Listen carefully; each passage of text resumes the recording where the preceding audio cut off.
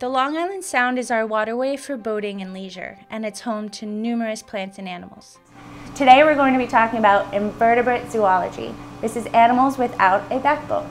Animals that are invertebrates in the Long Island Sound are benthic organisms. Benthic meaning living on the bottom of the seabed.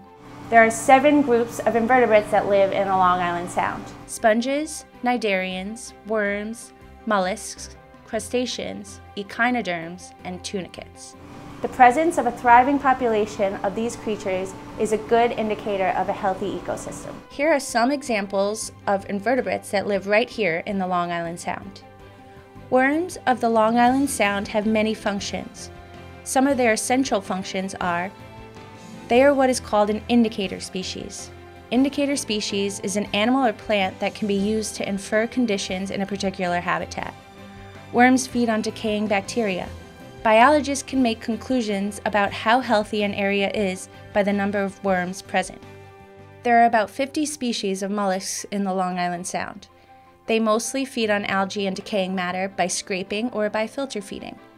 Mollusks are distinguished by their shell, bivalve meaning two or their univalve meaning one. Bivalve mollusks are mollusks with two hinged shells. These include mussels, oysters, clams, and scallops. They are filter feeders. Filter feeders use their gills to capture food. Univalves have a continuous shell. They have siphons. The primary function is to detect prey from a distance.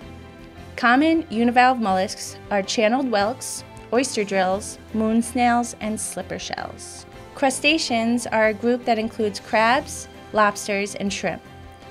They are related to insects and spiders. They possess a hard exoskeleton with distinct segments and jointed legs and mouth. Crabs of Long Island Sound include the blue crab, green crab, fiddler crab, spider crab, Jonah crab, lady crab, and hermit crab. Echinoderms are a species that are distinguished by having a five-part symmetry. Echinoderms in the sound include sea stars and sea urchins. Echinoderms can be plant eaters, scavengers, or predators. Horseshoe crabs are arthropods and are more closely related to spiders, extremely valuable to humans, and they are extremely valuable to migrating birds.